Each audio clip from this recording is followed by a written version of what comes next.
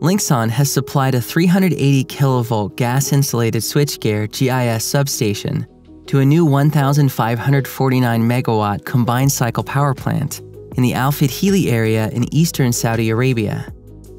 The substation will boost transmission capacity and ensure reliable power supply. The electricity will be delivered to Fadhili Plant Cogeneration Company FPCC, and a new state grid, and this power plant can supply electricity to about 1.1 million Saudi households. About 400 megawatts of electricity, as well as 1,500 tons of steam per hour from the power plant's output, will be used to operate the adjacent Al Fadhili gas processing complex, which will in turn supply natural gas for the plant's five generating turbines. The state oil company, Saudi Aramco, is developing the Al Fadhili project, which is a key part to boost production and supply of clean burning natural gas in the Kingdom of Saudi Arabia, in line with Saudi Vision 2030.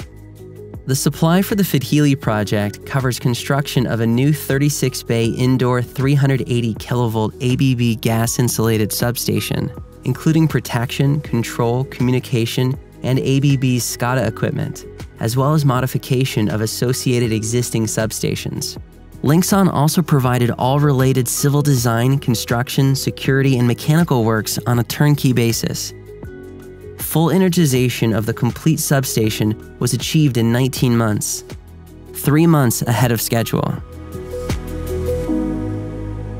We are Linxon.